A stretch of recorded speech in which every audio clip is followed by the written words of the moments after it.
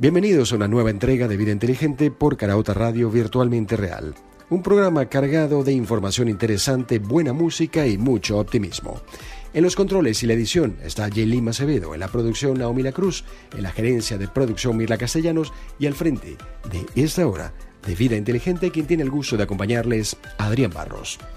El programa llega a ustedes gracias al doctor Miguel Luces Izquierdo, cirujano bariátrico y metabólico con más de 10 años de experiencia en el tratamiento de la obesidad. Arroba cirugía bariátrica y metabólica en Instagram. 10 años transformando vidas. Vamos con buena música en Vida Inteligente. Bien, llegamos al martes 21 de abril. Es el día 111, ¿eh? número mágico en el calendario gregoriano. Quedan 254 días para finalizar este 2020.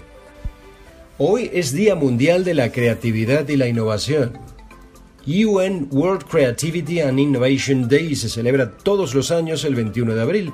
Tiene por objetivo fomentar las ideas originales para animar a pensar de manera diferente, alentar a todos a hacer las cosas con pasión y aprovechar las oportunidades que se presentan. Las empresas valoran cada vez más a los colaboradores que pueden adoptar una nueva visión y que sean capaces de trabajar en equipo.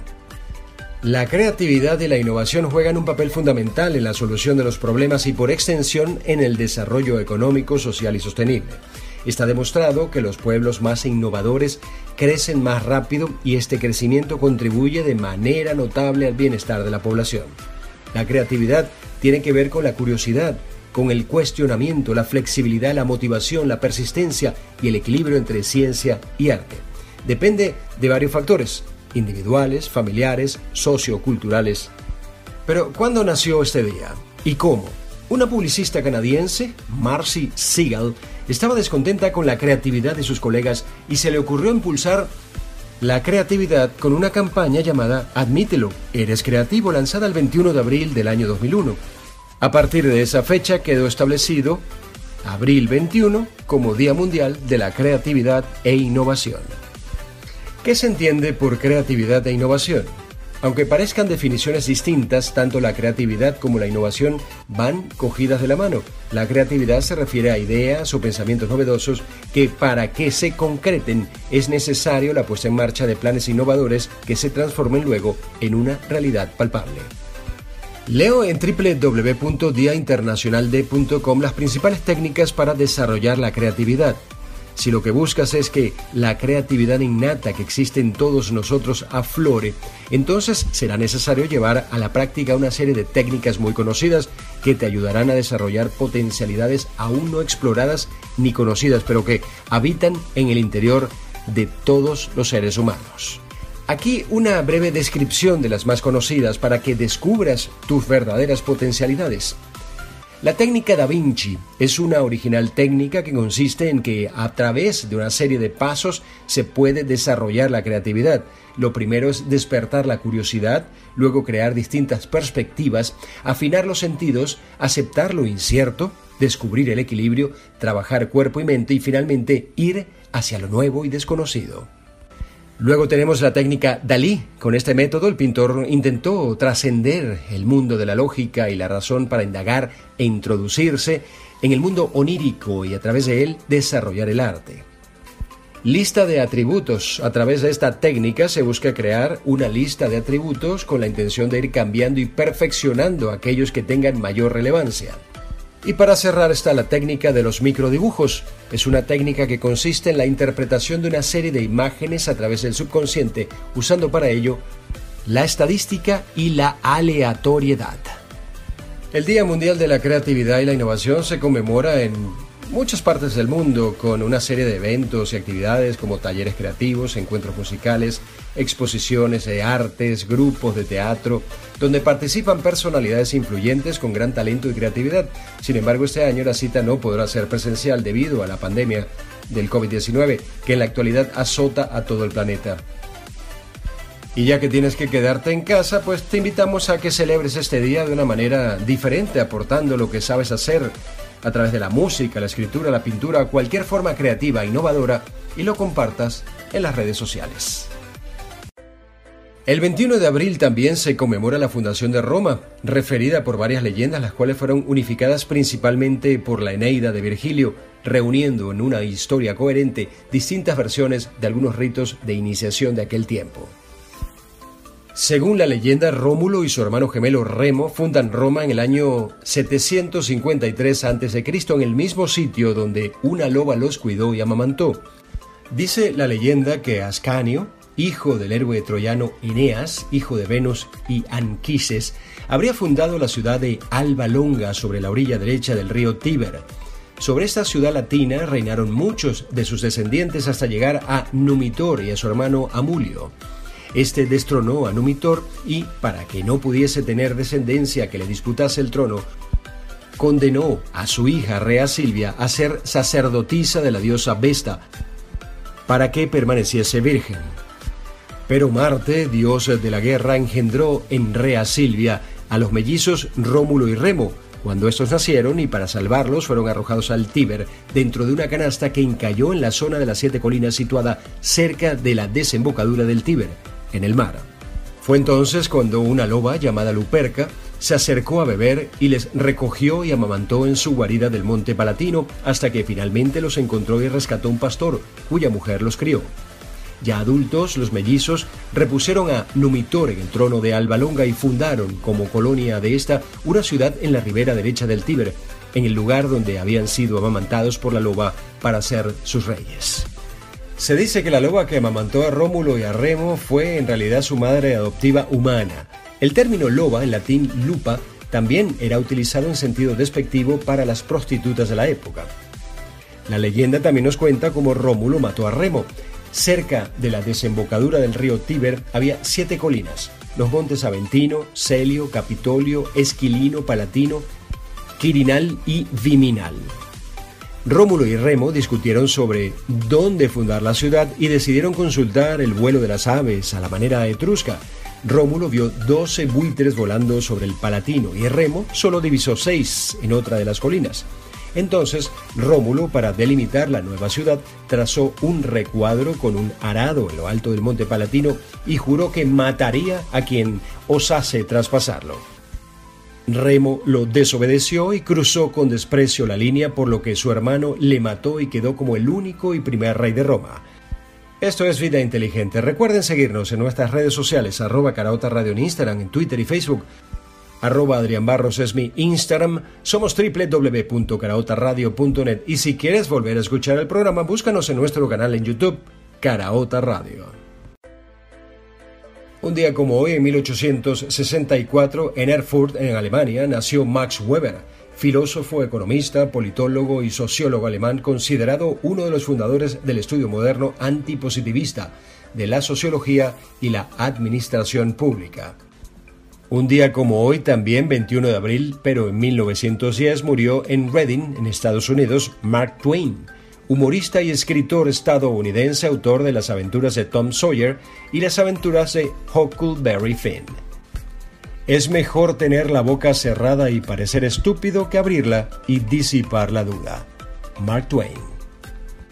En 1915 nació el gran Anthony Quinn, quizás el actor eh, mexicano estadounidense más famoso de la historia, reconocido por ese tremendo papel que hizo en la película Lawrence de Arabia. Y en 1918 murió Manfred von Richthofen, mejor conocido como el Barón Rojo, aviador militar alemán nacido en 1892 y se hizo famoso porque consiguió derribar 80 aeroplanos enemigos durante la Primera Guerra Mundial antes de ser abatido la mañana del 21 de abril de 1918 cerca del río Somme, en el norte de Francia.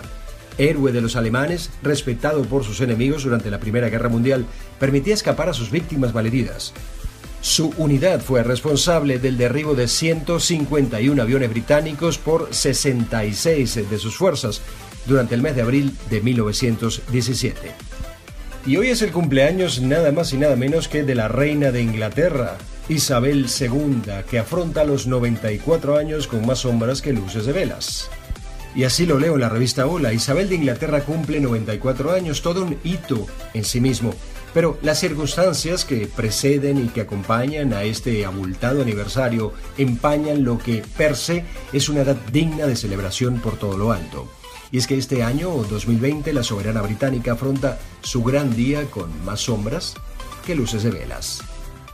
La alargada sombra de una pandemia que tiene confinado a todo el planeta ha llegado hasta el palacio mismo. El COVID-19 no ha hecho distinciones, desde Wuhan a Estados Unidos pasando por Europa entera. Así que, como cualquier otro ciudadano del ancho mundo y no como una reina de reinas, Isabel II también pasará su cumpleaños recluida y por ello prácticamente en soledad habrá ya recibido por teléfono en su residencia del castillo de Windsor las felicitaciones de hijos, nietos y bisnietos en lugar de los besos y abrazos en persona acostumbrados de otros años. El menor de los males, no obstante, para quien ha pasado varias páginas negras en la historia con la misma altura y la misma ejemplaridad, que ahora reclama a los británicos para vencer esta nueva crisis. Espero que en los años venideros todo el mundo pueda estar orgulloso de cómo se respondió ante este desafío, ha dicho la monarca desde su retiro.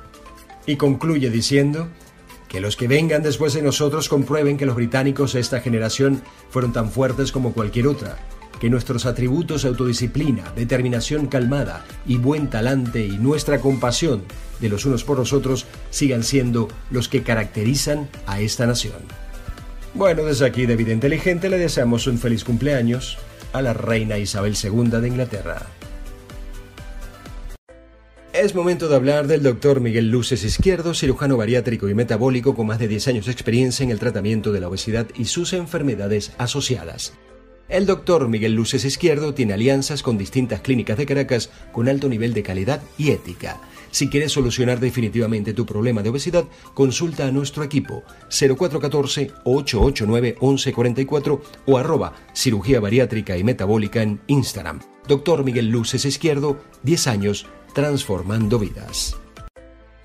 En 1960 se inaugura la ciudad de Brasilia, nueva sede del gobierno federal brasileño, proyectada por los arquitectos Juscelino Kukischek y Oscar Niemeyer.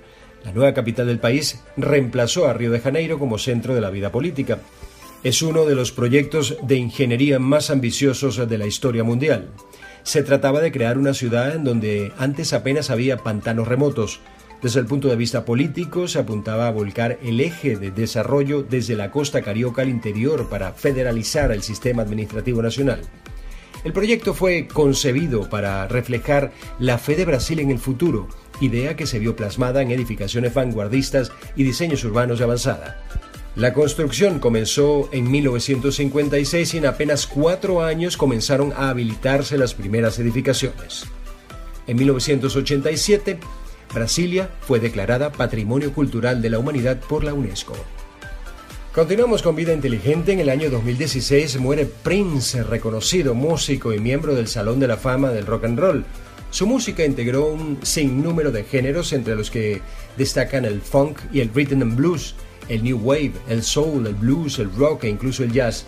En vida vendió más de 110 millones de discos en todo el mundo, siendo uno de los artistas más exitosos de la historia. Ganó siete premios Grammy, un Academy Music Award, un Globo de Oro y un premio Oscar por la banda sonora de la película Purple Rain. La enciclopedia británica lo destaca como una de las más notables estrellas del pop junto con Michael Jackson y Madonna. Ingresó en 2004 en el Salón de la Fama del Rock and Roll en cuanto cumplió los requisitos de elegibilidad y la prestigiosa revista Rolling Stone lo ubicó en la casilla 27 en su lista de los 100 artistas más influyentes de la era del rock and roll. El incomparable Prince. Continuamos con vida inteligente. ¿Por qué la técnica de acostar a los pacientes boca abajo les está salvando la vida?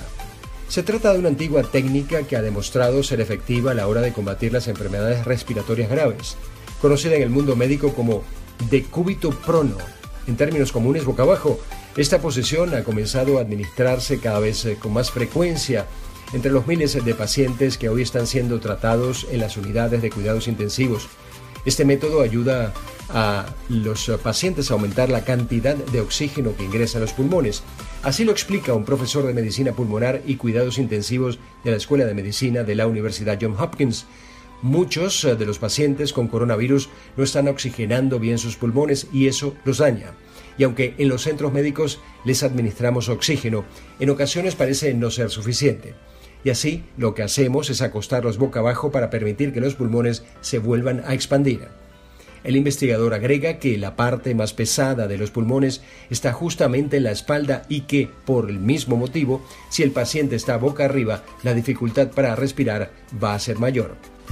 Una investigación basada en dos enfermos graves de COVID-19 que se atendieron en el hospital Wuhan Jinjintan, en China, concluyó que los pacientes que no fueron acostados boca abajo tuvieron una capacidad de expansión pulmonar deficiente.